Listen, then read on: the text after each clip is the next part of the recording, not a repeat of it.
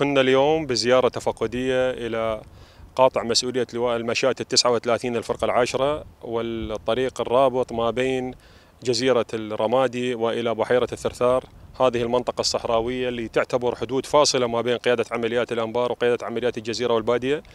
اليوم التقينا مع مقاتلين من منتسبي هذا اللواء. المعنويات عالية الاستعدادات القتالية عالية لرد أي تعرض أو اعتداء ينوي ما تبقى من مجاميع داعش شنه ضد المواطنين المدنيين أو القوات الأمنية في هذه المنطقة. ستكون لنا تعزيزات أمنية بما يطمئن المواطنين وبما يزيد من تماسك الموضع الدفاعي في هذه المنطقة. الكل يعلم أنه أبناء المنطقة في جزيرة الرمادي والأنبار بشكل عام هم داعمين وساندين للقوات الأمنية بالإضافة إلى الانتشار الواسع للقوات الأمنية متمثلة بالجيش العراقي في هذه المناطق.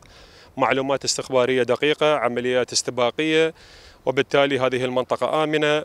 وأتمنى على المواطنين أن لا ينجروا وراء الكلمات والمنشورات المغرضة التي آه، يروج لها أذناب داعش من خلال وسائل التواصل الاجتماعي. جيشهم وقطاعاتهم على أهبة الاستعداد للدفاع عن الأنبار وعن قاطع المسؤولية بشكل كامل.